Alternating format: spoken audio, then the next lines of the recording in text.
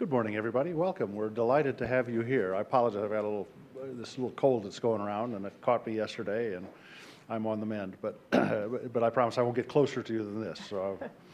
Uh, I want to say uh, sincere thanks to all of you for coming today, and special thanks to you, uh, Carrie. We're delighted that you are willing to do this. Uh, there's probably, if you, if you ever want to feel good about America, I just ask you to think about one thing Peace Corps. You know, it's what makes you feel good about this country. Um, there are an awful lot of things that get a little sour in our way these days and do um, make us wonder where we're heading and what we're trying to accomplish as a nation. But when I come back and think about what the Peace Corps is doing every day, I just, I just feel so happy because I think it really is uh, one of the most underappreciated positive attributes of America's uh, soft power in the world. And so this is, a, in part, an opportunity to celebrate what we should celebrate every day is more consciousness about what the Peace Corps is doing. Um, this particular this particular session grew out of a painful experience uh, that I had. Um, uh, about two years ago, um, one of my goddaughters was gang raped in a university here, here in Washington. I was, I, am still very angry about it. Um, and in the context of that, and I reached out and um, in the context of that, learned of the work that you were pioneering at Peace Corps. I, I, I went everywhere to try to find what what can what can I do? I was quite so unhappy and wanted to confront the university about their what I thought was quite uncaring uh, attitude and approach. And so it was in the context of that I learned of the work that you were doing at Peace Corps. And I had not really understood uh, how complicated the environment is uh, for this issue uh, for Peace Corps volunteers. They're posted forward in often alone. There isn't a support structure around them. The overwhelming image that America sends through its movies and TV is of a licentiousness that makes young women vulnerable, frankly. And so I started to learn more about what you were doing. And, and in my grief, I learned about hope and what you've been doing. Now, it goes beyond that. I think that, excuse me, I think that, that uh, Director Hessler uh, will talk more broadly about what the Peace Corps is doing and about the reforms that you've been bringing to the Peace Corps. I know this will be a bit of it, and because it has been an important commitment that she has brought uh, she started off in the Peace Corps, uh, I think in Western Samoa, if I recall, and, and has spent uh, you know, the rest of her professional life around this orbit of trying to create wholesome societies and positive uh, cultures and environments. We came to know her from the work that she was doing on global public health, especially on AIDS, HIV/AIDS, and that's how we had this earlier connection. But now we have a much broader, richer connection. And I'm just so grateful that you were willing to. This is not a happy topic, but I'm so glad we have to talk about it. I must say, I just one bit of personal disappointment when, and I, I wrote to all of my staff and, and in my anger and said, our responsibilities. And I asked for help. I probably had a dozen women that contacted me on my staff saying I'd be glad to help. Not a single man. That's part of the problem, isn't it? It's not viewed as being our burden to solve this problem. It's being viewed as your burden to solve this problem. That's not right. That's wrong. We all have to embrace this solution. And I'm so glad that you're here, uh, Carrie. Thank you for coming today. Would you, with your warm applause, please welcome Carrie Hessler-Radelet.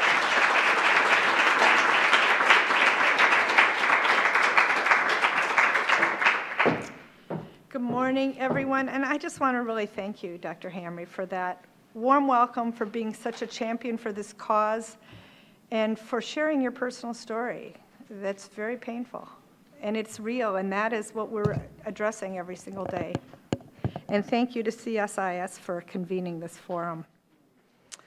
This month is uh, National Sexual Assault Awareness Month, and we at the Peace Corps are joining with President Obama and federal agencies across the government in raising awareness about sexual violence and the importance of supporting our victims and ways to prevent those crimes. We dedicate this month every year to raise awareness about sexual assault, but I'm sure it will not be much of a surprise to any of you that the safety and security and medical care of our volunteers is our number one priority every single day of the year. I'm told often when I introduce myself, when people learn that I'm the director of the Peace Corps, they say to me, Wow, you have the best job in Washington. And I agree with them, I really do. And um, it's on those days, as I will be next week actually, when I visit volunteers in the field and I see the incredible work that, are, you know, that they're doing and I um, talk to my own staff and I see their incredible commitment and passion for our mission, and I feel that I am honestly the luckiest woman in the world. But there are other days when it's really tough, when the challenges of operating in the world that we live in and in the environments that you just described are really acute, and the weight of responsibility for the thousands of lives on my shoulder can weigh me down tremendously.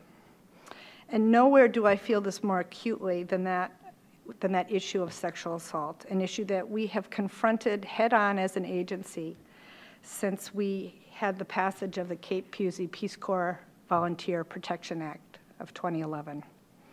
As a mother, as a woman, as a returned Peace Corps volunteer, and as a public health professional, there's no issue that I take more seriously than sexual assault. And as a survivor myself, there is no issue that I care about more deeply or personally. My story is not very different from those I hear about every single day from Peace Corps volunteers. During my service, I was sexually assaulted by a person in authority over me, and I chose not to report. I was embarrassed. I blame myself. I feared that I had somehow behaved in a culturally inappropriate way that may have led my assailant to believe that I was interested in him.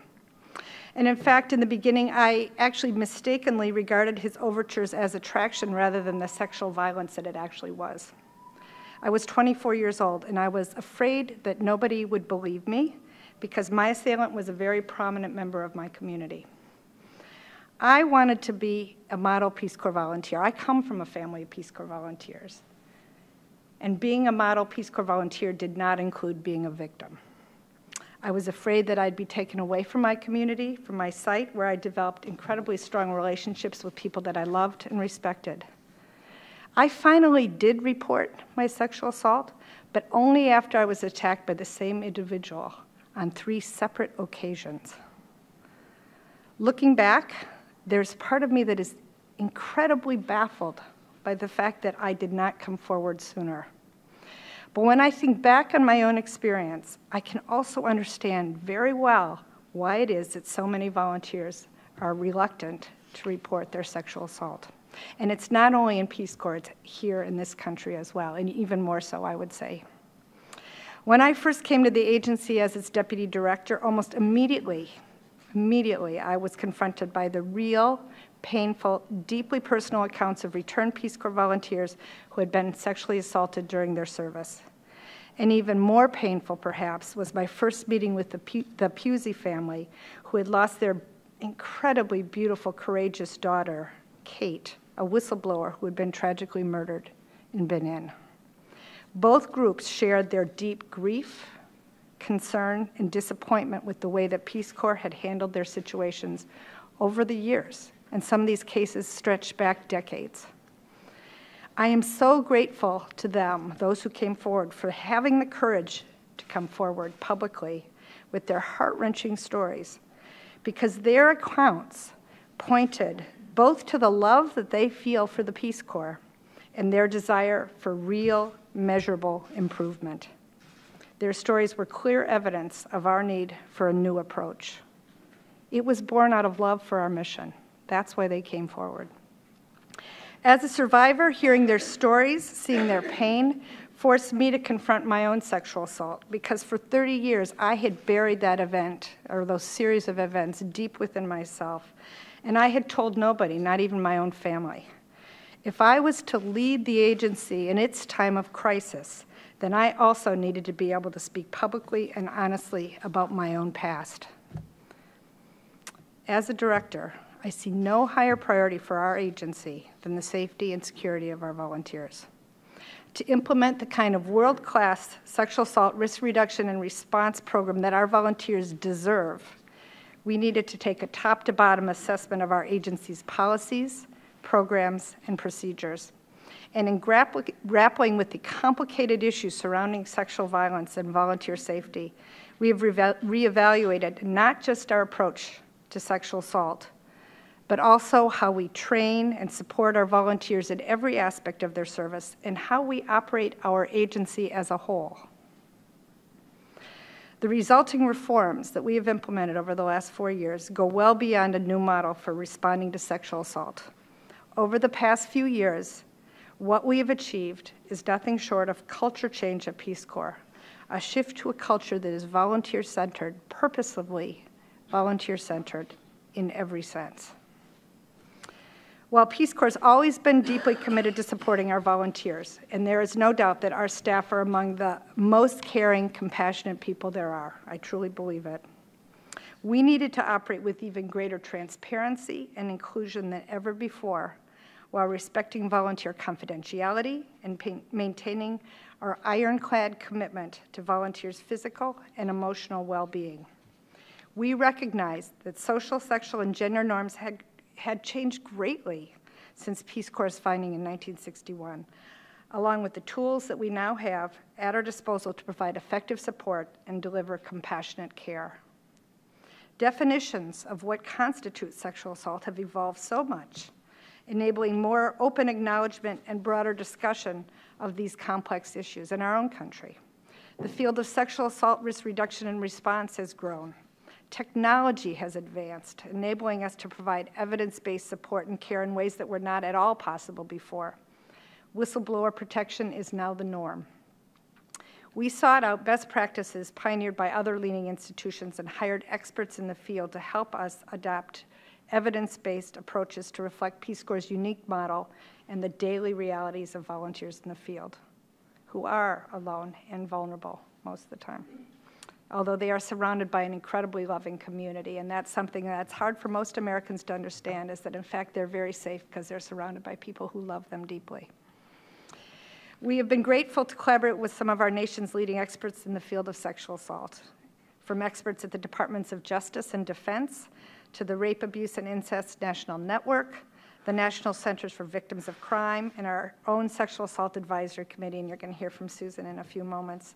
She and others have done so much to help us along the way and to improve the rigor of our program. We are so grateful to them and to our own staff. We have some true experts on our staff. Working together, we've developed a model with real impact, what we refer to as our SAR, our Sexual Assault Risk Reduction and Response Program, which went into full effect globally in September of 2013. It's based on a two-prong approach. First, we're working to reduce risks by training volunteers on bystander intervention, risk assessment and mitigation, and other best practices. That includes making sure that volunteers are aware of all the resources and options available to them and empowering them to report all incidents of sexual assault, from harassment to unwanted touching to forced kissing to rape. We want people to come forward to get the care that they need so that they can be productive volunteers. Secondly, we have implemented policies and practices to improve the quality of our response which, when incidents do occur. We do this through special uh, sexual assault training for every single one of our staff, along with specialized training for first responders, the provision of, sexual, uh, of victim advocacy services to volunteers, the appointment of trained sexual assault response liaisons at each of our country posts, and the development of policies designed to facilitate an effective multidisciplinary response, including the option of restricted reporting, which I'm sure we'll talk about sometime today. Our goal is to create an environment that empowers volunteers in every sense of the word, one that puts them in the driver's seat, and one that builds trust at every level and encourages them to seek the support they need and deserve. We want Peace Corps to be a space safe, a safe space to, to come forward with whatever is troubling our volunteers. Our goal is to create an environment that empowers volunteers to increase reporting and access to services, and which tells us that we are moving in the right direction. And we have seen a 20% increase in reporting and access to services since we began our comprehensive program. While we cannot eliminate any risk, not at all, every risk at least, we still have things that we are, that we are improving on. I am confident that today our volunteers are better informed, better trained, and better supported than ever before. We continue to monitor and evaluate the impact of these reforms, and we commit to work diligently to refine and improve our model and to seek greater efficiency and effectiveness in our work in the future. We are committed to doing our best for our volunteers. Over the past four years, in grappling with the challenges of sexual assault and volunteer safety, we have continued to learn, to grow, to critically examine our policies and procedures, and to lead in our commitment to the people and communities that we serve. Some of the reforms that we have made have struck at the very core of our culture, going well beyond safety and security. From the very beginning, the culture of Peace Corps has always put volunteers first.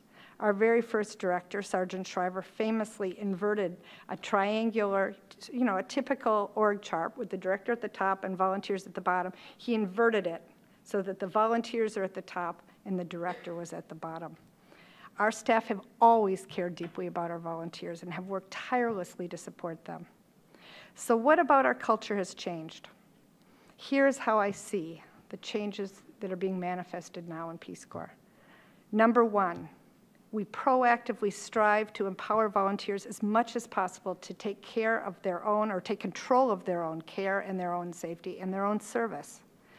From implementing historic reforms in our recruitment and selection process, offering them choice, to elevating volunteers' voices in all aspects of our communications, to placing volunteers firmly in the center of our new IT strategy. Volunteers are at the center of every single thing that we do. Number two, we provide volunteers with far greater support than they ever have received before. From establishing a new Office of Return Peace Corps Volunteer Services with the dramatically enhanced career services for Return Peace Corps volunteers, to the development of a medevac support team and our new post-service medical unit, to our new intercultural and diversity support initiatives. Our focus is on supporting our volunteers throughout their time in Peace Corps and beyond. Third, we have embraced proactive use of evidence-based best practice in all of our work, whether it's revamping our technical training and program support for our volunteers, utilizing updated new standards of medical care, or prioritizing monitoring and evaluation frameworks across the agency. We strive to ensure that data drives all of our decisions. Our reforms have not only strengthened our safety and security programs, they have transformed all other aspects of our agency as well. The path we have taken in addressing sexual assault has not been easy. It has been very hard, and I have wrestled personally with it. But it has been an important journey, and I am so grateful to you, to CSIS, for providing a forum for us so we can discuss here how this transformation has come about and where we hope to go in the future. Our hope is that by sharing our experience, others will learn. Our hope is, too, that we can learn from the experiences of others. And it is our hope that this forum will give rise to an open, hopeful, honest, empathetic, and effective dialogue that deepens our understanding of sexual violence and sexual assault, whether in a faraway developing country or right here at home.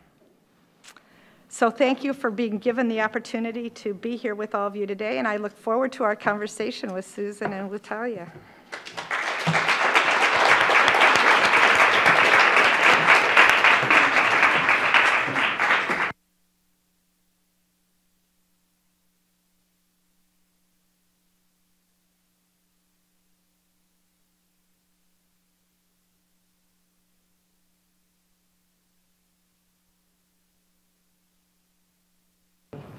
Morning. Uh, my name is Talia Dubovi. I'm the Deputy Director of the Global Health Policy Center here at CSIS.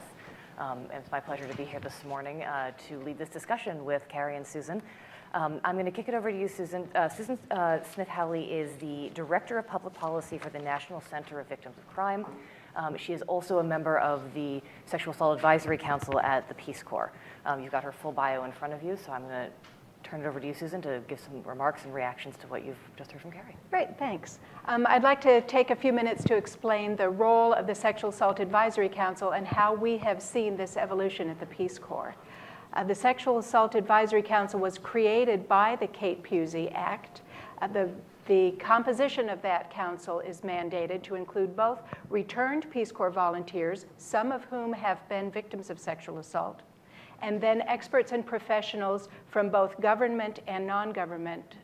That has included people from the FBI, the State Department, DOD. It's included advocacy organizations, medical professionals, counselors, and experts in evaluation.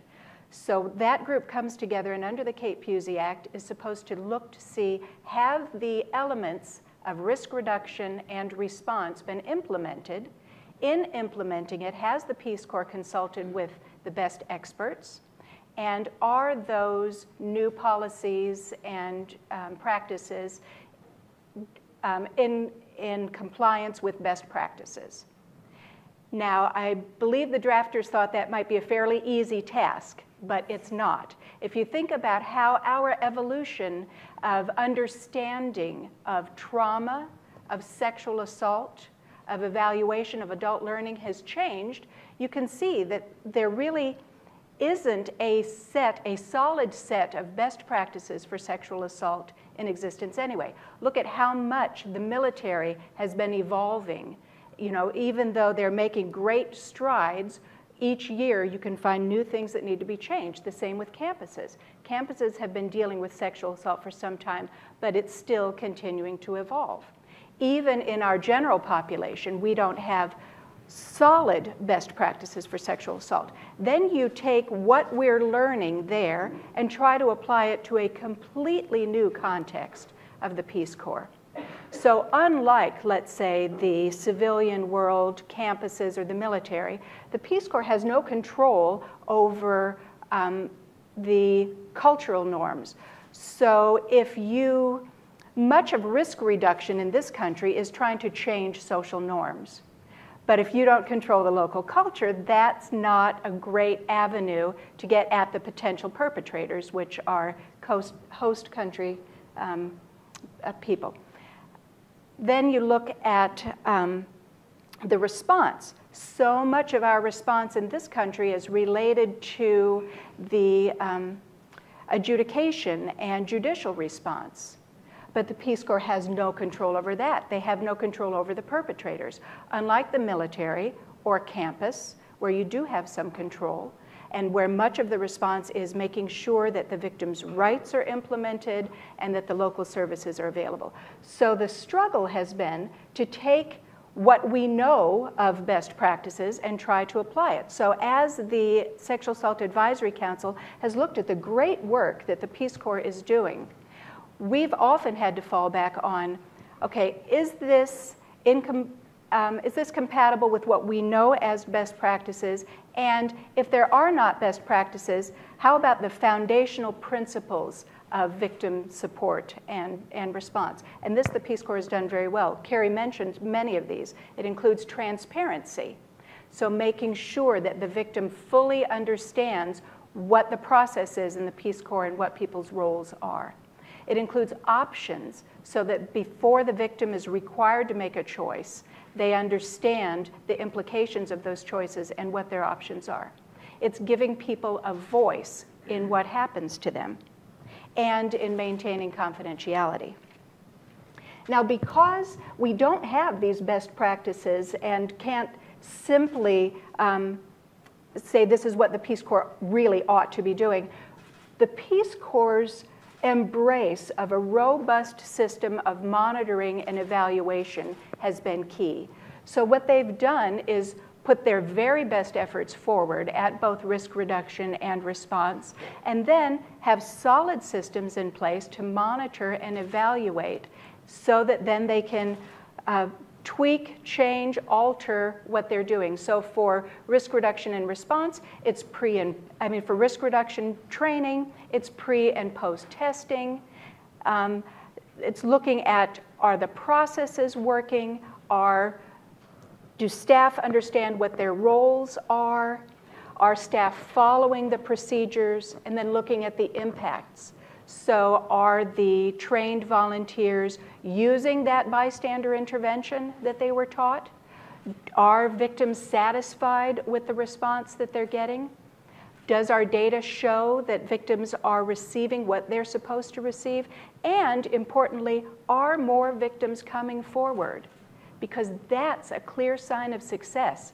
We know from looking at sexual assault around the, the country that if people don't see a reason to come forward, there's no benefit, they don't know whether they're going to be helped, they won't come forward. But if they understand, here's what we can do for you, here's what your coming forward can do for us, we expect reporting to go up. That's why the council has been very pleased to see an increase in victims coming forward. Some of those um, restricted confidential reports, and, but many of them standard reports. So um, it's been really a privilege and an honor to be part of the Sexual Assault Advisory Council and to work with the Peace Corps as they have struggled through these issues and are creating a world-class risk reduction and response program. Great, thanks very much. Um, I'm wondering if we can take it down a level and talk about kind of the actual policies. What does that training look like? What is the reporting mechanism? What happens when someone has an experience in country? What are their options? What are their resources? Kind of, can you take us through a little bit more concretely what the program looks like now? Sure, I'll start, and then I'm Okay. sure you're going to add to it because, and in fact, I'm going to pull something out because when someone reports a sexual assault, they get eight services right away, and I don't want to leave any out, so I have a list here.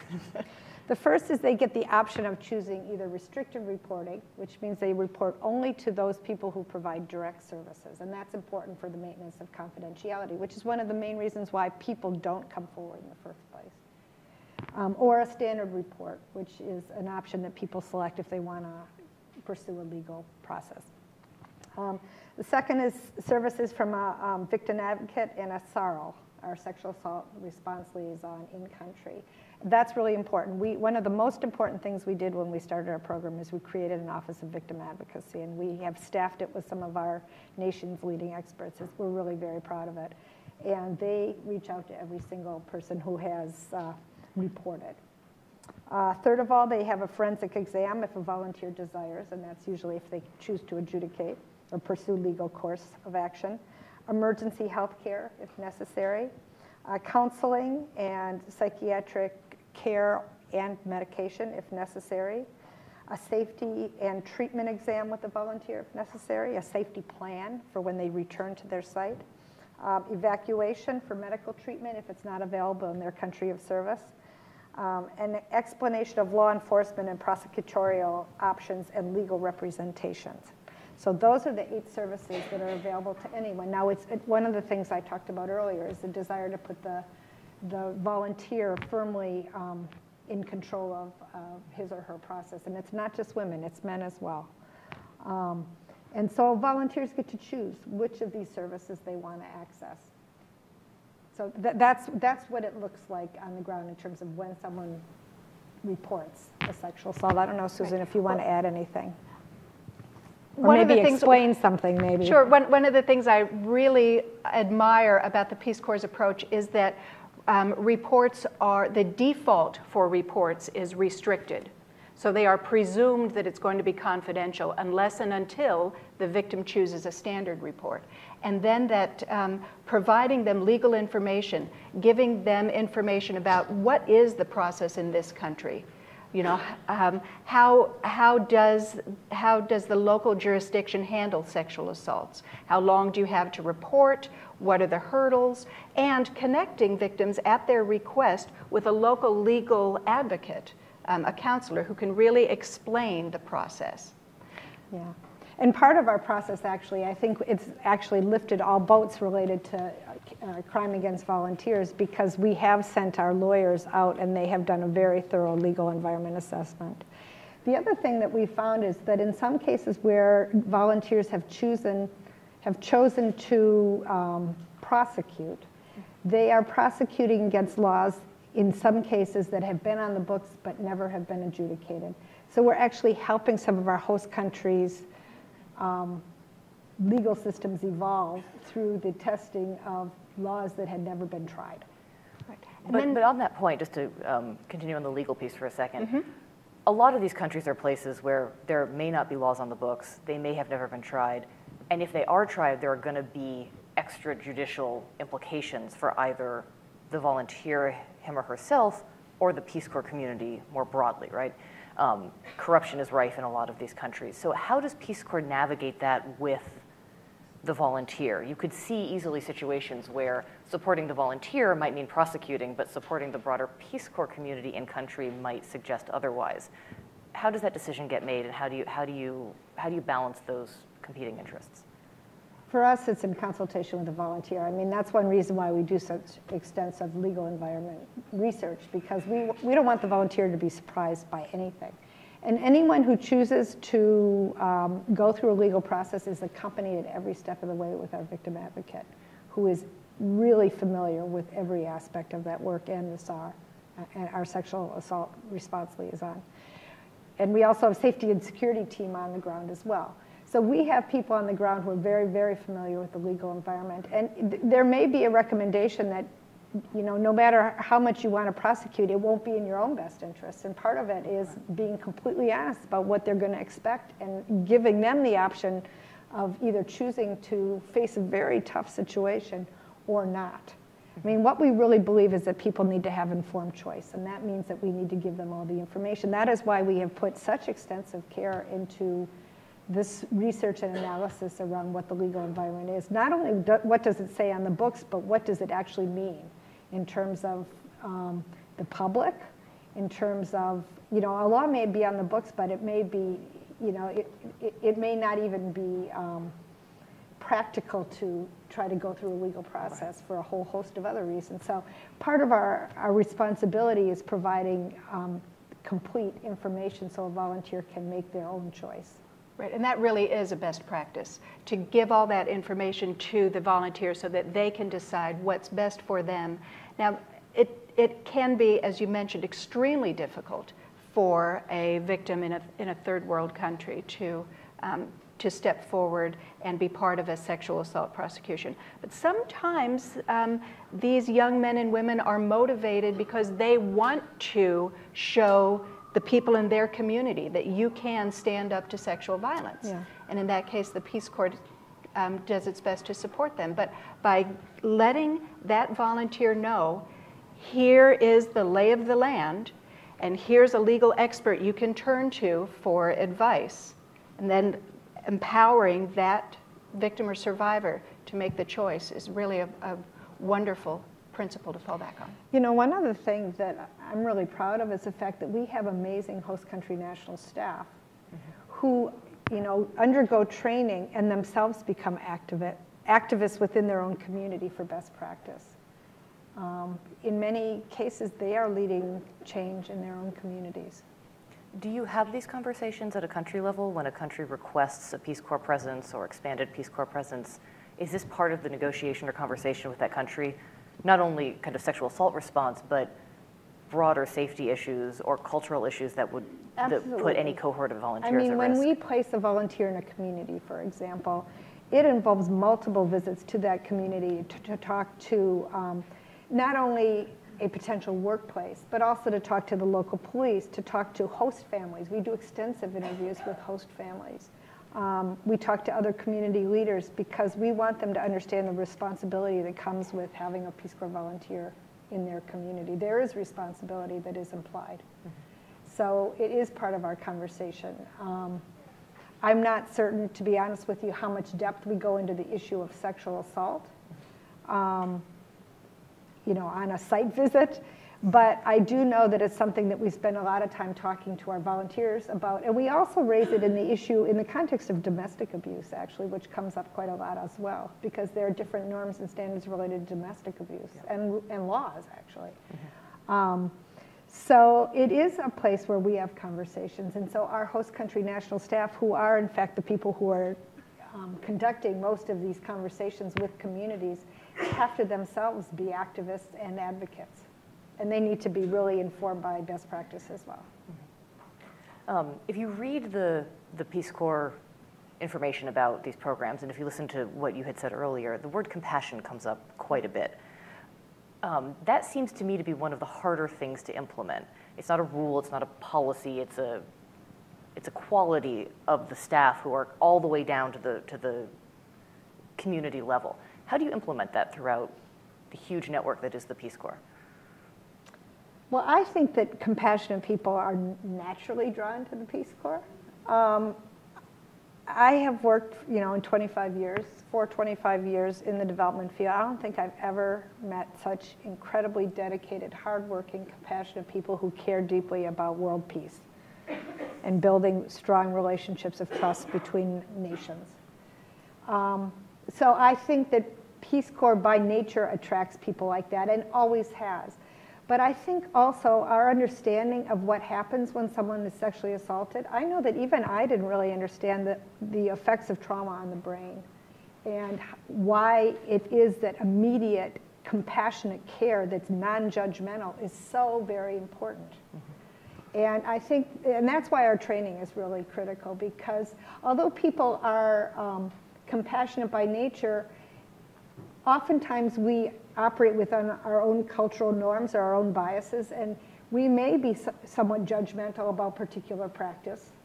And what's really important to understand is even if there are underlying issues that you eventually need to address, use of alcohol, for example, you do not want to address that when someone has been sexually assaulted at that moment. There is a time and a place for addressing every single issue with counseling with a trained provider. Your job as a first responder is to be compassionate and to listen and to put control back into the hands of a, of a victim because control is what you lose when you are sexually assaulted. You lose all sense of control. And so you need to be able to restore dignity and, and control so that that person can begin to heal. And then if there are issues, then they can be addressed by a trained provider at the right time. I think Carrie has just outlined the real evolution at the Peace Corps because even before the Kate Puzey Act, well before these, um, these changes and the development of the Sexual Assault Risk Reduction and Response Program, you had compassionate, empathetic professionals yeah. who were doing what they thought was best in responding to the volunteer. But without the training and the policies in place, they were making a lot of mistakes. But now that, that the staff is understanding, here are the dynamics of trauma, here is how what you do affects the way that the victim recovers and their view of the Peace Corps, and here's how it fits into our mission, has, has really been remarkable. So one of the things, Susan, you mentioned was the monitoring and evaluation. Um, and I pulled the um, advisory council report from, I think, six months ago, which I think is the most recent one that had um, uh, a couple of themes throughout the report mm-hmm. of things that the Peace Corps needed to improve, including more focus on trauma informed, becoming a trauma informed organization, um, some staffing issues, the need to clarify and streamline policies and trainings, and a more strategic approach to prevention, among a few others. Mm-hmm. Um, can you talk a little bit about those findings? Have you seen improvement over the last six months? Kind of what's left to be done, and where is this headed? Well, I should say that the council only comes together twice a year. Um, one is fact finding. So we learn what have been all the changes in the past year, and then the other is to come together to write our reports. So we really have not looked at the changes that have taken place in the, okay. in the past six months. Um, but some of the staffing issues that we noticed were a need to clarify roles and responsibilities of different staff. Um, because one of the keys to a strong sexual assault response is a coordinated response with various professionals. But we have learned, and the Peace Corps has learned, that unless you are very clear about individuals' responsibilities, you can have two or three people who think it's their job to do X for the victim, and if someone else is doing it, they feel disempowered or frustrated, and so that's where that's the basis of the staffing mm-hmm. issue. Um, another, uh, can you run through a few more? Um, a more strategic approach to prevention? Right. Um, the Peace Corps is doing a lot regard, um, in the way of risk reduction and prevention, but just to have an overall strategy in place can make further progress easier because you know where, if you see new research, you know where that can plug in. It's a lesson that's been learned by the Department of Defense, and so we have applied it here. And then reviewing, clarifying, and streamline policies and trainings. The policies and procedures that have been developed are terrific and thorough and very long. This thick.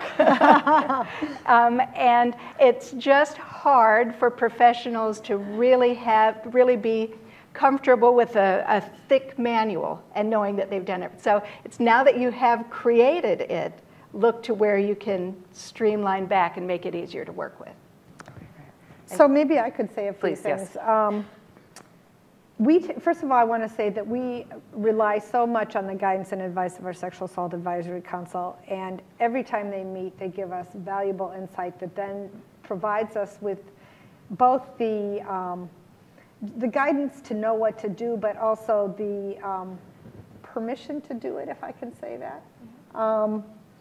So a, a couple things, the ones that you mentioned. Um, the policies, they were very, I mean, literally, they were this thick. So we have gone through since that time and have streamlined them to, uh, we have eliminated redundancies. We have clarified where there is maybe some murkiness.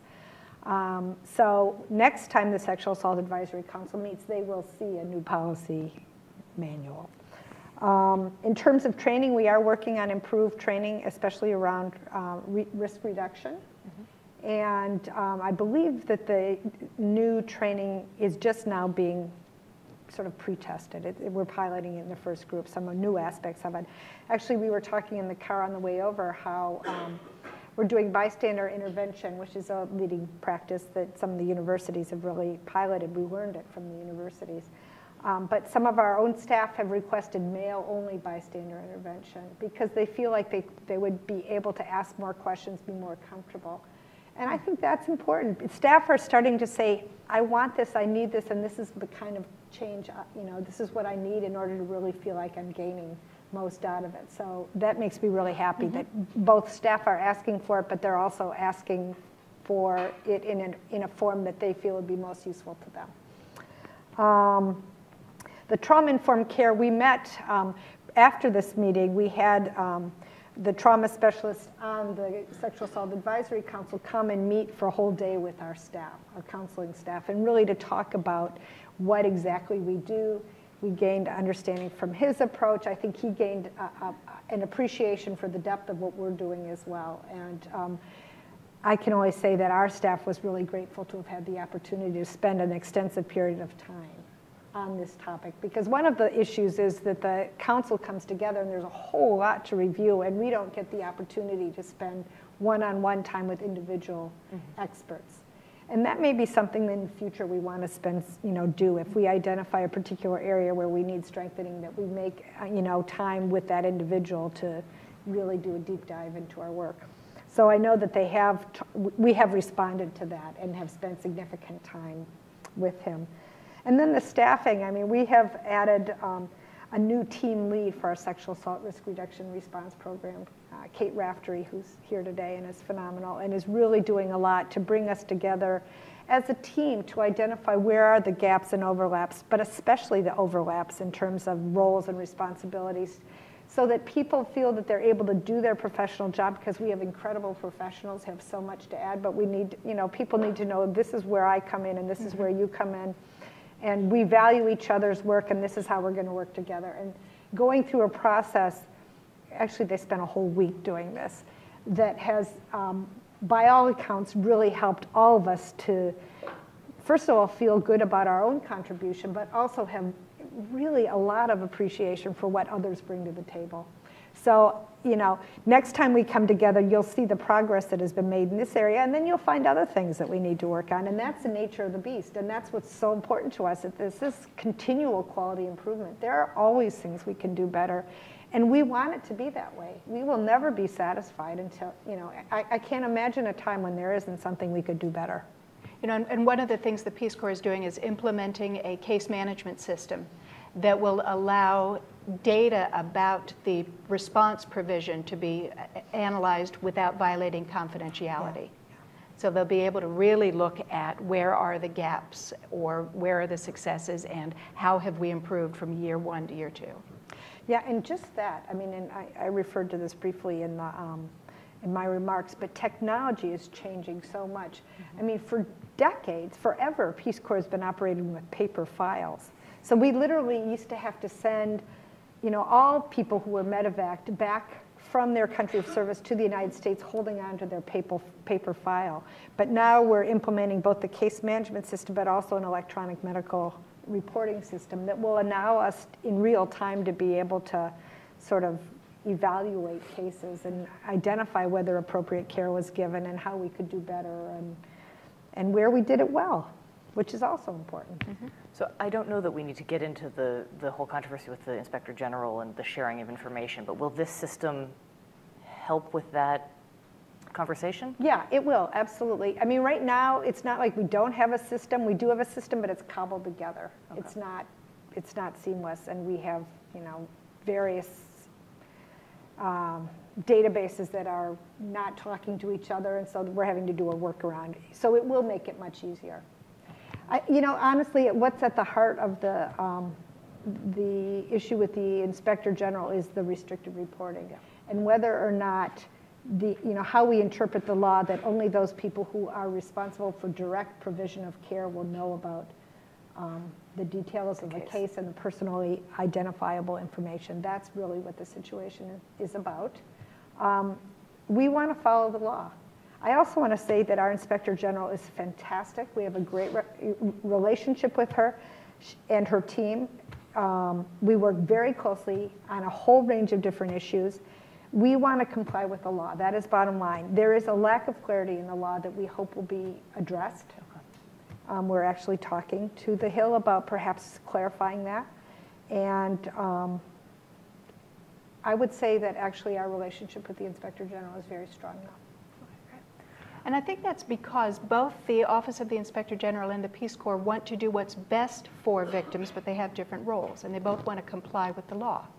Um, but the question is, when the Inspector General comes in, they uh, normally think they should have access to all of the information, but then you really have to look closely how much of this personally identifying information or the real details of the sexual assault is it necessary for you to know to be able to do your job? And then, if there's a given case where you want to talk to a victim who thinks that they're operating under, a, under complete confidentiality, how best can that be facilitated that it doesn't traumatize the victim? So, can there be advance notice? Can you give the victim an option to speak with the Attorney General, saying that this is part of the um, quality improvement process? And that's how it is right now, that, that they can, we can ask, they can ask can ask for the permission. information and, the- and the volunteer can say yes or no. Um, We want to make sure that volunteers are, you know, feel that they have the confidentiality to, the- so they can come forward, because we have seen an increase since restricted reporting has come about. Um, But it is also the Inspector General's job to make sure that we're doing our job right and that we're delivering, you know, the promises that we have, we have made to our, our volunteers. And so, you know, the truth of the matter is we all absolutely are aligned in what we want to do. Like you say, we all care deeply about making sure that we, we, we provide the support and the care needed for volunteers. And, um, and actually, when the law is clarified, we will work together. I mean, we're already working together, but uh, some clarification will be useful to all of us. Just put it that way. But I think that's another benefit of the ongoing um, monitoring and evaluation activities of the Peace Corps, because you've already created a, an atmosphere that we are looking for our own mistakes all the time, and it's not to play gotcha, it's so that we can improve. Yeah. So then I think there's less concern if the Office of the Inspector General looks at data and finds a problem, because that fits into what the Peace Corps is already trying to do. Yeah. You know, a lot of it is what I was saying earlier, too, trying to build a culture of trust where we trust each other. Volunteers trust staff. Uh, the agency trusts, trusts the IG, the IG trusts us. If we can create a culture of trust, it just makes everything so much easier. And I would say we've gone a long way to building trust. Well, I can keep asking questions, but I'd like to open it to our audience. Um, so if you can raise a hand if you've got something to ask. We've got a couple people with microphones. Um, please say who you are, where you're from. Um, we'll do, we're going to take three or four questions at once, and then I'll kick it back up to the panel, and then we'll come back to the audience for a second round. And if you can keep your questions short, that would be appreciated. Um, there's a gentleman right here on the aisle. Oh, However you want to, The gentleman. Whatever. we'll do all three of these three. There's a, uh, my name's Doug Samuelson. I divide my time between a little company called Infologics and a larger company called Group W. There's a trade-off in reporting. There are some incidents that you really wouldn't want to prosecute, but you don't want to ignore either. And if the penalty is severe once you get over the threshold for prosecution, there's a tendency for people not to want to report anything until you hit that, or for people investigating not to want to take it further until you hit that threshold. Below that threshold, like minor incidents, the guy grabbed her hand and said, I really would like to go out with you. And that's technically sexual battery as soon as he touched her. But it's really more like sexual harassment is all you'd get in court. You counsel the guy. Don't do that again. And if she's convinced that he won't do that again, she might want to let it go. That's the opportunity to prevent, that area is the opportunity to prevent more severe things later. So how, what's your view of the trade-off of when it should be reported, when it should be handled in a less uh, open fashion? And I'm, I'm thinking of this from the standpoint of the military, where if you sent a Peace Corps volunteer home halfway through his tour, it's probably not a career wrecker. You send a light colonel home, he's done. All right, thanks. Let's go to the two women here in the front with their hands up, uh, in the purple and then in the blue behind you. I'm Mitzi Wertheim with the Naval Postgraduate School, but my first job, I was hired two days before the Peace Corps was announced on the Peace Corps staff. I was their first off the street employee. Everybody else had come out of the campaign or was on TDY. I was trying to understand what do you explain about how do you protect it from happening? I mean, and I guess the other thing I'm concerned about is your incredibly long directions. Government does that, academia does that. And I think you have to start demanding from the people who do this work what both Eisenhower and Reagan demanded. You tell me what I need to know in two pages. And all of the other detail is an addendum. Nobody has time to read. The Department of Transportation just put out a transportation report, 340 pages. Who the devil is going to read that? and you also have to, if you have new ideas, you want to highlight them up front and what you can do with what you can do with these new ideas. You don't want to have to struggle through these academic reports. Thanks. If you could hand the microphone to the woman right behind you. There we go. Okay, the flame uh, is passed on. Uh, my name is Mindy Reiser. I, I've had the opportunity to do a lot of development work, um, particularly in Central Asia and the Caucasus. And in the case of, in the course of that work, I met with the United Nations Population Fund, and I'm wondering what kind of liaison you have with them. Many folks don't know that one of the three pillars of the UN Population Fund work is violence against women. And that is part of the, gro- the broader UN context, which Secretary General um, of the UN has also flagged as really important. And of course, this is a chance to work with the various NGOs. Some of them, for example, I met with a Muslim women's NGO, very interested in some of these issues. And I think this is a great chance for dialogue. So, my question is how you're accessing the UN system, the UN agencies, particularly those that have programs. There's something called 16 Days Against Violence. That happens across the world, usually in December. So I think these are good uh, connections to make. All right, well, we have uh, three questions there um, with some additional aspect, but there's the trade-off between kind of reporting and prosecution and when you can handle things before they rise to that level. Um, questions of prevention and how you, the most effective training that people are really going to read and engage with, um, and then engagement with the UN, and I would add other partners, so you know, U.S. agencies as well as other international agencies who work on these issues. Do you want to start, and then I'll take up after you're done? Sure. Um, with the uh, responsibility to report and prosecute. You know, we don't, we don't want to put too much, we don't want to put a burden on the individual victim or volunteer to say it's your responsibility to make sure that the societal system changes because we know how difficult it can be. So that's just one factor that they have to figure in. So we know that we want the volunteer victim to know they will be supported, whatever they choose, and fully informed. But then you, your remark also talked about what happens to the perpetrator. Um, the Peace Corps has developed a separate system for volunteer on volunteer sexual assaults that the volunteer can choose that's a disciplinary proceeding um, because many volunteers don't have confidence in the local criminal justice system. They don't want to subject a fellow volunteer to the vagaries of that system, but they want some form of accountability. So the Peace Corps is developing a, a disciplinary system. Is there anything to add? No, I think that's right. I For, mean, for yeah. volunteer, if, if it's within the Peace Corps, can they access the U.S. justice system? They could if the um, perpetrator volunteer returned to the United States. Um, I don't have any more to add on that. I would like to go to the next question, actually, and that is about sort of the training and how can you prevent it. I mean, for Peace Corps, one of the most important tools that we can give our volunteers is language, the ability to speak the language, to understand the language, to understand the culture, to understand the cultural norms. I mean, in some places, if you, um, you know, accept a dance with someone, let's say at, at- at a party, then that's an invitation. Our volunteers need to know that. So understanding the cultural context is probably the most important thing we can do for our volunteers. But we also, you know, train in bystander intervention, which is really a pact among volunteers that we will watch out for each other, that we will, we will not leave people behind, that we agree not only to intervene if we fear that someone is in a situation that is risky, but also that they will be intervened upon um, if your peers, you know, it's really, it's, it's, a, it's an agreement to support each other. We also have peer support networks so that volunteers can talk among themselves about some of the challenges they're facing in integrating to their host community.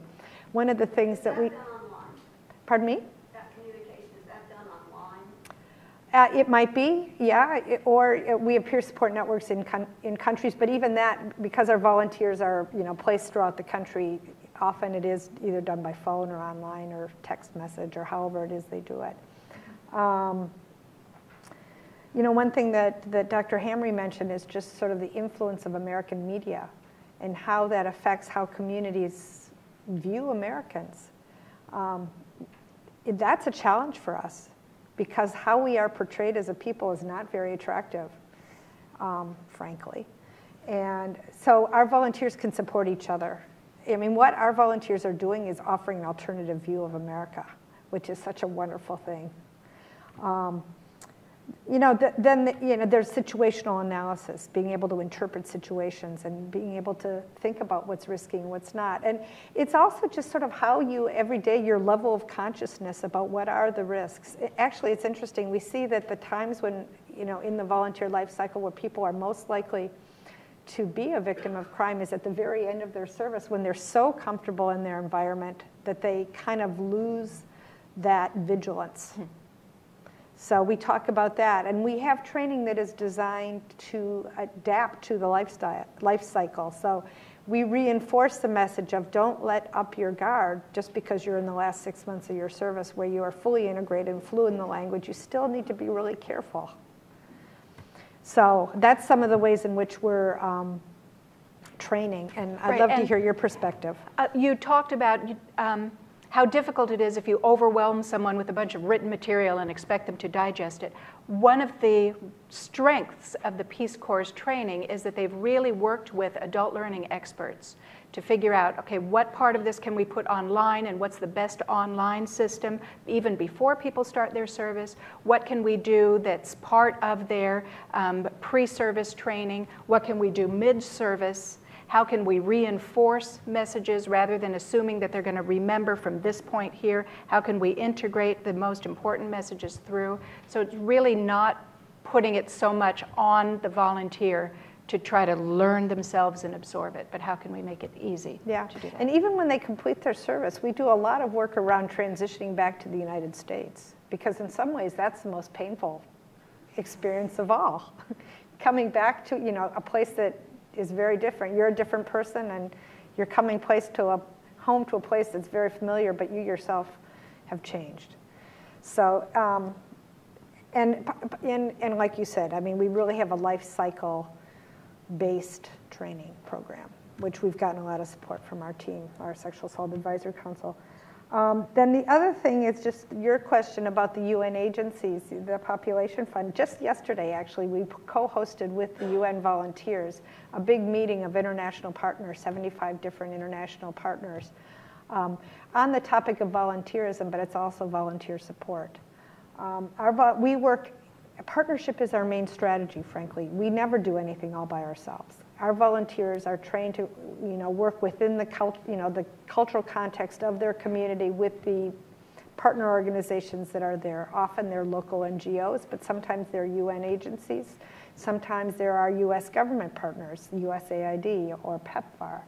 Um, but we work with many, many NGOs that are committed to women's health, to reproductive health, to um, gender equality, to girls' education. Uh, we just recently launched a new initiative we're very excited about with um, First Lady Michelle Obama, Let Girls Learn, which is a community focused approach to increase access to education for girls around the world. It's, it's girls' education and empowerment. So we talk about, um, as part of that, we talk about domestic abuse. Um, and it's not just about reaching out to the girls, it's also to reach out to the boys to create allies among young men and, and adolescent you know, boys um, we want to encourage young men to be um, allies, to speak out against domestic uh, abuse and sexual violence, to be supportive of um, their female peers in terms of education, to be good fathers and partners.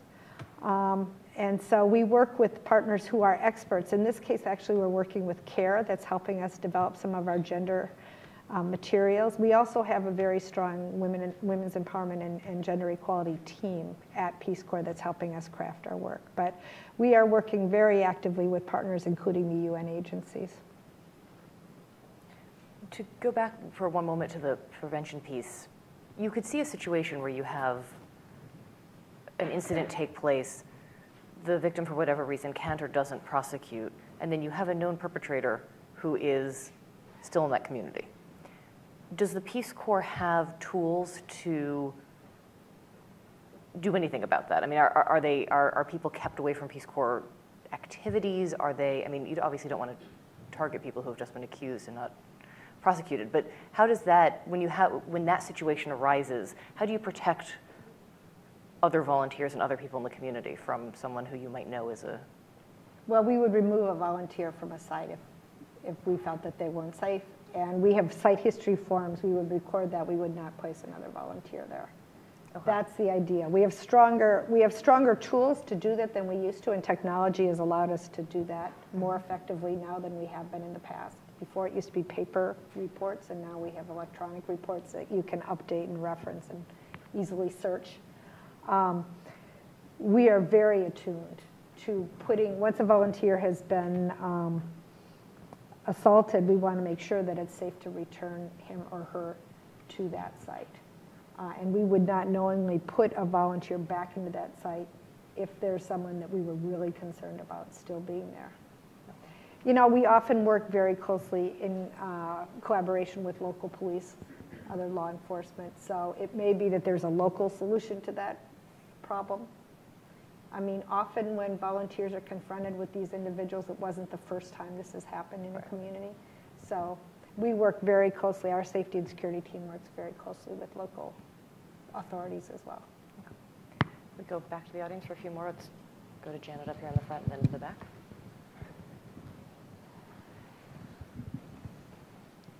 Thank you very much. Uh, my name is Janet Fleischman, here with the Global Health Policy Center at CSIS.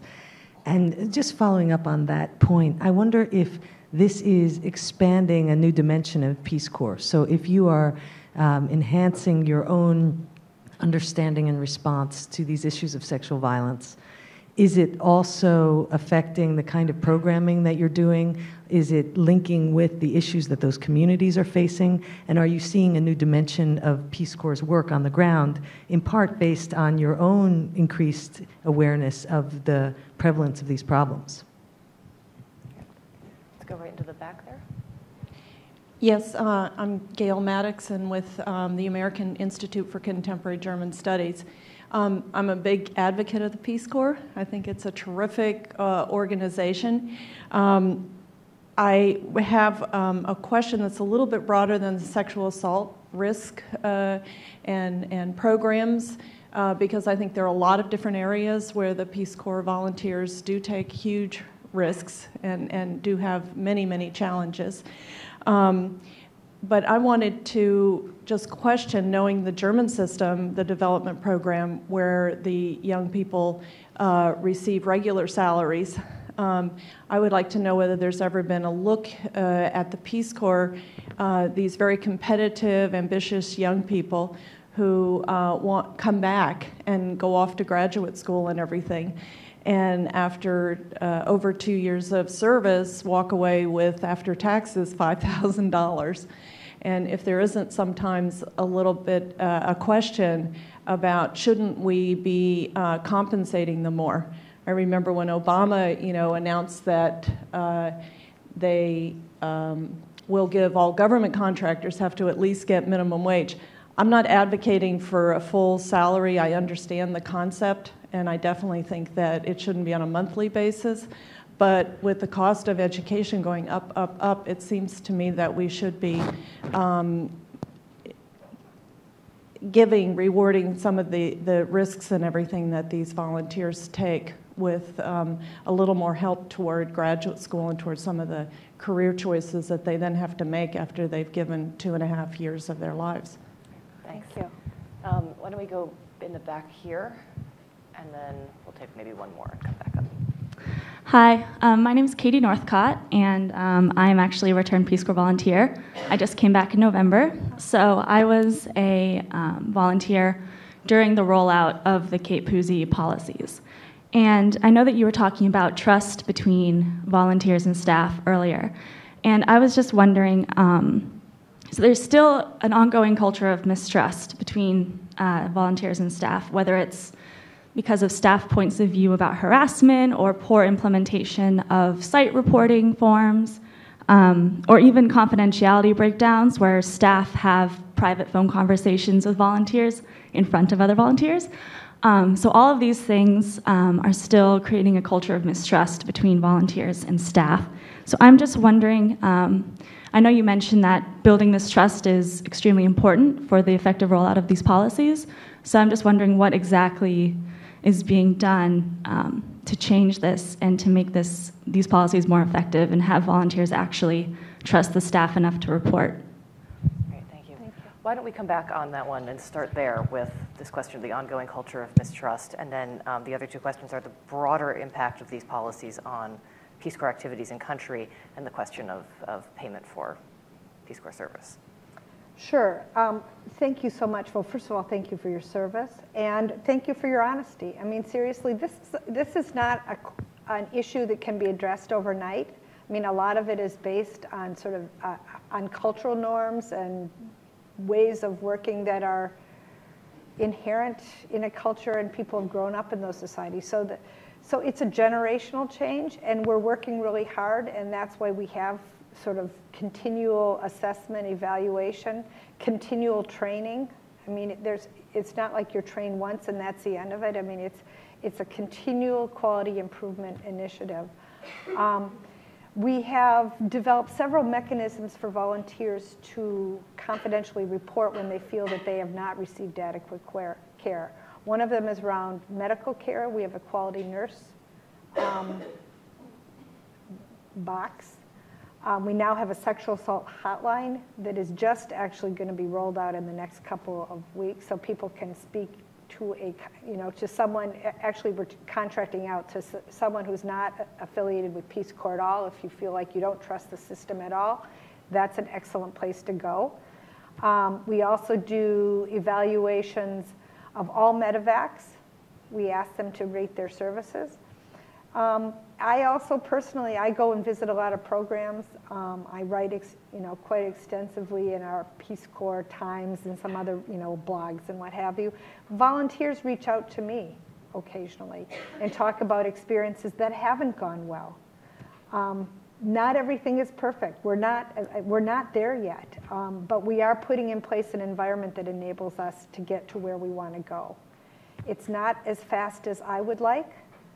Um, we're still dealing with people who have decades of lived experience that may be different.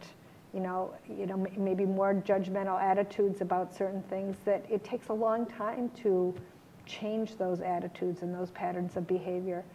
Um, we have worked extensively with our own, our own staff to try to create a culture where trust can build. Um, if there is a situation where confidentiality is breached, I really want people to um, come forward. Another avenue that's available to everyone, and in fact used on a fairly regular basis, is the IG. And we have posters, as you may recall, posters, of, and, and also our victim advocate, posters saying, if you see you know, either a violation of confidentiality or any, any of your rights, call the IG, or if you need to reach out to a, a victim advocate in Washington, so not in your post, you can contact this, that, you know, our victim advocate. So we've tried to create places where volunteers can go if they feel that they aren't receiving the care that they need and deserve. And then we do remediation. We take those very, very seriously, and we always um, you know, follow up on them. Now, we want to also ensure confidentiality, so then it becomes a, com a, conversation with the volunteer. Are you comfortable with us going back to the person um, who you're, you know, say, saying wasn't providing adequate care or support, et cetera? Can we, are you comfortable with us addressing it? Would you, do you wish we'd address it in a different way? It becomes a conversation where the volunteer is in control of the response. So that's our approach it's, it's not easy changing it, and I think the universities are seeing that too. I mean, universities have been dealing with this for decades, so has the military. It's hard, but we are trying to create an environment where there is safe space. Um, so that is our goal, and that's what we're working towards. I think that's why the M&E is so important. Yeah. So, um, you know, having those surveys of returned Peace Corps volunteers, you know, if, if, the, if there's not a place yet on there that talks about confidentiality or other issues, that could be incorporated there. Working with the employee, the staff evaluations to incorporate many of these issues too is another place. But, but the, the point is to try to set systems in place and then measure, evaluate, have opportunities for input, tweak, change, is it working, and continually monitor your progress. Yeah, and, counsel, and counseling staff. I mean, we often need to counsel staff um, so that they can change their practice and their attitudes. Uh, we also have the all volunteer survey. Every year we do a, a volunteer survey. We have very high response rates, around 90%. Um, and that's an opportunity for volunteers to, to rate their country director, you know, give comments about the level of support around their staff, country director staff, their program staff, their medical officer, et cetera. We also take those very seriously as well. Okay. So to the, the other the two other questions, questions. there, um, you know, payment, salary for Peace Corps volunteers, whether that's been considered, and then also the uh, new the, dimensions of our work. Yeah. Yeah. Um, I think we try to incorporate a lot of these principles, especially issues related to gender equality and empowerment. Um, that has been a big part of our work in all of our technical sectors. We have six sectors. Let me just say what they are education, health, agriculture, environment, community economic development, and youth development. So, within the context of our programs, we try to, we, we do incorporate best practice, and some of them are issues related to um, you know, sexual violence, domestic abuse, et cetera. Now, we don't we don't want our volunteers to intervene in the middle of a domestic abuse situation because we don't want harm to come for, to our volunteers. So we train our volunteers what to do, for example, if they see domestic abuse happening in their community. There are ways of getting other people, I mean, I, one of the most, I would say, effective ways of addressing the issue is getting other people within their community who are themselves natural leaders and natural advocates to raise the conversation and then the volunteers support them with additional information. But when you're talking about really difficult entrenched issues like gender roles, and especially where abuse is related, we really work through existing natural leaders and other organizations.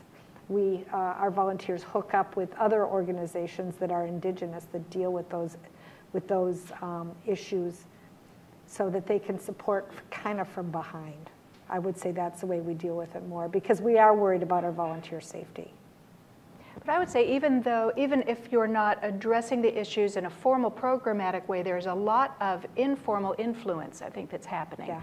So when the safety and security officers are interacting with the local law enforcement and saying, here are our standards at Peace Corps for how we're responding, they're influencing change when the Peace Corps yeah. medical officer may have to find a local medical provider who's authorized to do the forensic exam and explaining here is the sensitive approach we use and may I be in the room while the exam is happening. And then, too, yeah. we were talking about today's volunteers are coming to the Peace Corps with so much more awareness and tools themselves from what they're learning as being active on campus or in other organizations that they will have an influence as well. Yeah. I mean, it really infuses everything we do through our lived experience in communities. I mean, I think that's probably the way in which we are most likely to be influential in that area. You know, even something as simple as, um, you know, looking at gender dynamics within the family, a married volunteer, my own experience, I was a married volunteer. I, I, I served with my husband. The fact that my husband was washing clothes by hand and helping with shopping in the market and um, really being a partner in domestic chores was itself a big statement and he took a lot of grief for that. But it helped you know it helped to have the discussion. He was able to then talk to some of the um, you know the men the, the chiefs are, the matai we call matai in samoa about why is it that he felt it's important to share domestic responsibilities and that you know leads to a conversation about you know gender equality. And and then you can go from there to a conversation about how do you treat an equal partner. So there are ways of doing it in a way that um, are culturally sensitive are safer and that enable to sort of lead by example. And then the last question about compensation I'm not tackling that one. Yeah. Um, you know, I have to honestly say, you know, we feel very, we're all about service. It, it really is about service. We feel that the concept of service is so important that we, we don't want to turn it into a job, to be honest with you. Uh, our volunteers have most everything they need, you know, sort of taken care of in their living allowance. And we actually have made changes to the um, adjustment allowance. Now, when you emerge after two years, you get $8,000. Um, frankly, I have, you know, my son is 24 years old. He's working. He's making a dramatically higher salary than what our Peace Corps volunteers make, and he's not able to save a penny. Our volunteers come back after two years of service and have much more money than their peers who have been working at, you know, $40,000 a year. Now, part of it is the lifestyle they're living. Um, the other thing is we have a lot of other benefits to Peace Corps service that others don't have. For example, we have a student loan deferment for federal loans, not for commercial loans yet, although we're working on that. But while volunteers are in service, their loan debt service payment is deferred. Um, we have master's degree programs with whom we have relationships. So there are two programs, the Master's International, which is where volunteers um, apply to both graduate school and Peace Corps service at the same time. They, they do their master's work, they get some academic credit for Peace Corps service, and they merge at the other end after three years typically with a master's degree and Peace Corps service. We also have uh, an extensive range of fellows programs, which are scholarships and teaching assistantships that are awarded to return Peace Corps volunteers, and they are quite substantial. We have relationships with more than 100 universities that offer those. So there are benefits to service that aren't available to other people. The other thing we see is that our, our the number of applications is rising every day. We, uh, over the last, we, we have done some pretty massive changes to our application process. We've streamlined it. We've um, introduced, introduced the option of choice, so applicants can now choose, choose the country and the program where they'd like to apply. Um, it's a much more transparent process. You can see where you are in the process. Um, you, you learn where you're going much more quickly, et cetera, et cetera. Um, and what we've seen is a dramatic increase in the number of applications. So there is still so many more people who want to serve than we actually have opportunities for service.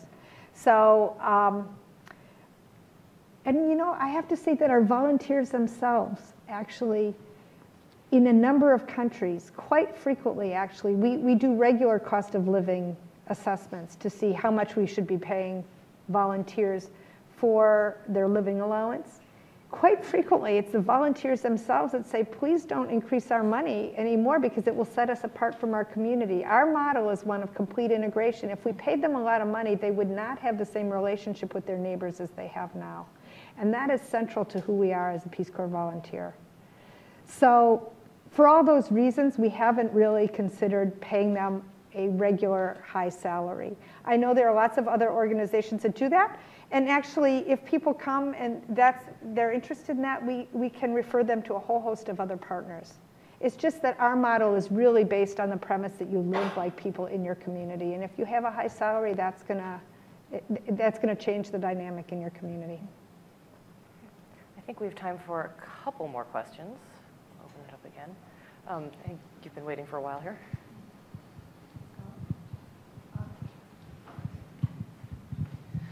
Hi, my name is Sarah Lynch. I'm with CARE. Um, Carrie, first, I just want to say thank you for sharing your personal story. Um, that really means a lot to all of us, so thank you for doing that and for taking on this initiative on behalf of an agency that's important to all of us as Americans. Um, my question actually was very similar to Janet's, um, so I, I, won't ask to repeat, but I just want to say thanks for taking this on and, and to know that the work that you're doing to empower the uh, volunteers um, will have huge ripple effects for the communities in which they serve. So thanks for that. Well, and I just want to say yep. that Sarah and her team here at CARE has been just really fabulous in terms of helping us um, launch Let Girls Learn. CARE is a partner with us. And um, as I was saying earlier, when it comes to Janet's question, I mean, one of the most important things that Peace Corps volunteers can do is link people with other services. So even though we may not do everything, we, along with CARE and other partners, can identify someone else who does, and we can link people appropriately.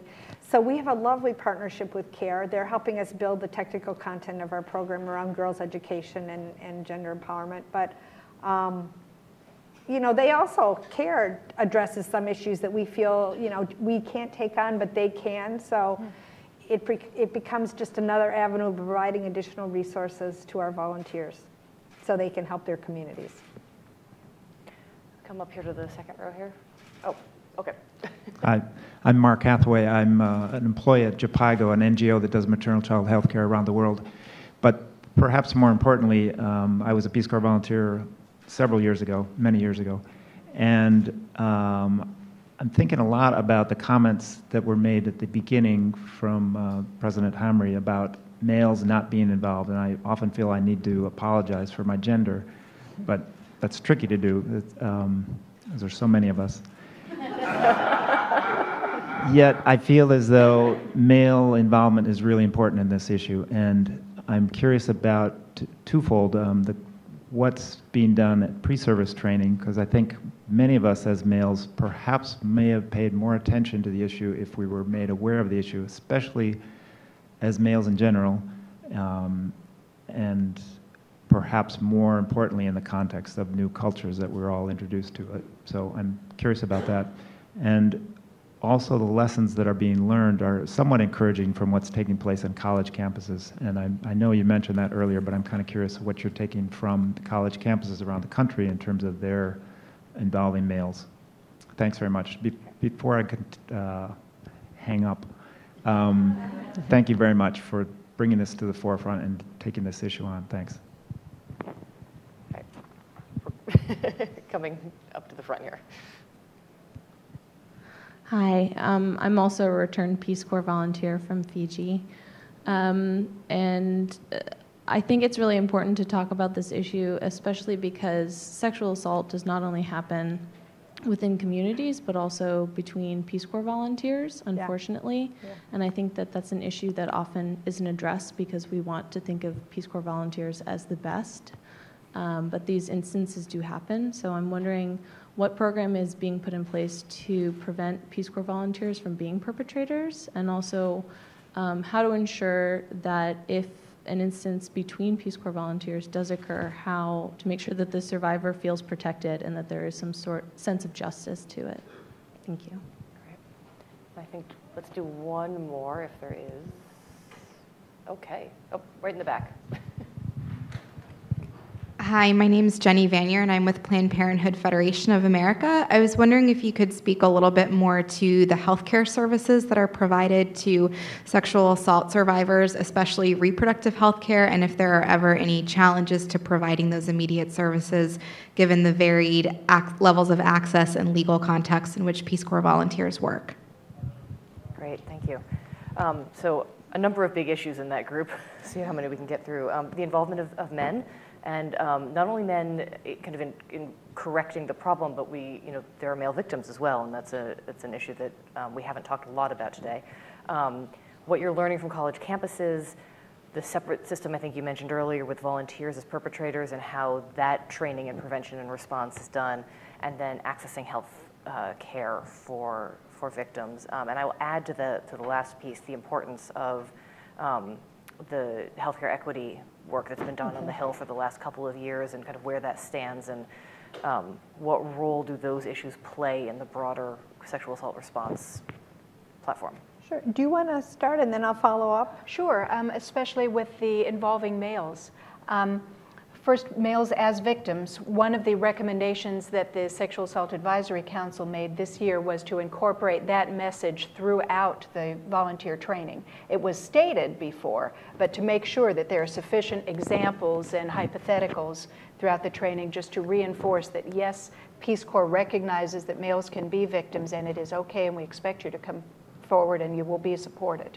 So that's been very important. Um, also, the bystander intervention training has been just terrific. And you, we have learned from the volunteers that they are putting those tools and skills in practice. A, a very high percentage, I can't remember, maybe 20%, have said they have used something they learned in bystander intervention training in the past year. And then also, I have been impressed with the way that headquarters staff, including the males, has really taken this on. Today, the Peace Corps is holding a Sexual Assault Awareness Month event and having the It's On Us campaign, where many staff members have photos of them holding a, a hold, pictures of themselves holding a message, an anti sexual violence message uh, that's posted down in the lobby, and others are encouraged to write their own message and take. So it, it really has been. Um, the male involvement has been incorporated throughout yeah. Peace Corps' response. I mean, basically, everyone receives training, uh, you know, male and female, like volunteer and staff. Um, we feel like it's an important issue that we all have to own. And so that's been part of our approach. Um, you mentioned It's On Us. That's part of a federal sort of campaign, a larger US-based campaign that I have signed on. I've taken the pledge and I have encouraged all of our volunteers and staff to do that. Um, I've sent out notices that I have done that and I encourage everyone else to do it. Um, so yeah, I mean, it, we think it's really important, not only um, in terms of sexual assault, but just all the work that we do um, around trying to create a, a, place where all people can achieve their potential, that we need to just be continually working on gender inequality. Um, The volunteer and volunteer issue is really the toughest issue we face. And this is why the universities and the military have had so much trouble because they own the perpetrator and the victim, and we do the same when it's volunteer on volunteer. Um, we have, I mean, a lot of, I mean, training, we, I hope we talk about that. We certainly, that's certainly part of our curriculum. I mean, we, it is designed as part of our training program to talk about volunteer on volunteer. You know, the, the norms have changed. Sexual rules have changed. And um, it's hard now. I mean, it's much more complex, more nuanced. I mean, it, it's, it's a different time than it used to be. I think people understood when I was younger, I sort of understood what the rules are, and the rules have changed a lot, and they are changing as we speak. And so it means we need to, all of us, have a continued dialogue. Um, we have set up a, there's a whole sort of hearing panel um, process when there is an allegation of volunteer on volunteer. We guarantee the safety of, of volunteers who come forward, the, the, the victims. Um, we also have a responsibility to allow some sort of process for the perpetrator as well. Um, but I have to be honest to say that those are the issues that are most difficult for any of our agencies, for the universities, for the military, for Peace Corps. Um, and often what we find is that it can really um, have far-reaching impacts beyond the individuals involved as their peers line up mm-hmm. with them. And so it, it is the most devastating, I would say, of all of the, the um, situations we face. It's a smaller, much smaller percentage of those that are reported. It may be, though, that those are the most underreported. I would suspect they, that it is because people understand the implications of coming out against one of their peers. And you know from being a Peace Corps volunteer that you have you come in with a group. It's usually not a very big group.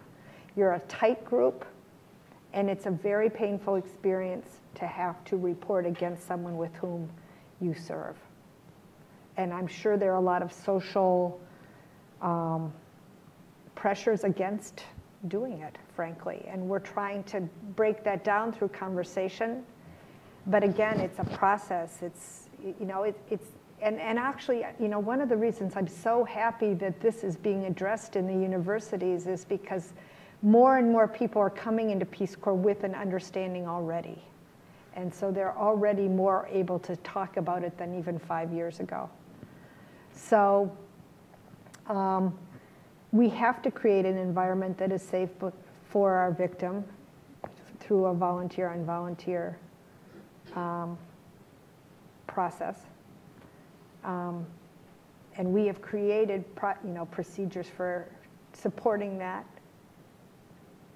We monitor and evaluate to make sure they're being followed well, but that's why we have our process. And then we have to make course adjustments, or we have to do counseling, or we have to remediate when we find situations where it hasn't been followed properly.